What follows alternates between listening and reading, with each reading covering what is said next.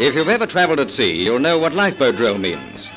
Here are men from Wales, Scotland, South Africa, Mauritius, Kenya, and Rhodesia aboard a troop ship bound for one of the globe's hotspots. Also travelling overseas are some Wrens and women of the Queen Alexandra Imperial Military Nursing Service. Shall we join the ladies? Why not? They jump at the idea.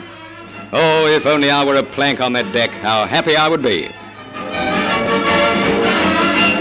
You mind looking the other way, gents? There's a lecture going on. This is one way the many nationalities get to know each other. Naturally, the most fun is had on Sports Day. Well, for forevermore.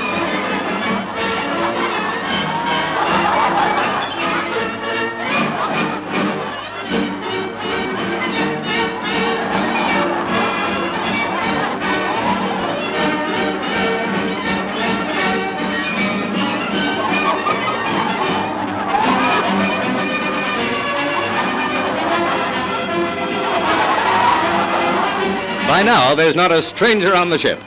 I remember how my granny used to play this game. A little tough on the old lady, but she was a riot at the vicarage. It's all over bar the liniment. Call out the nurses.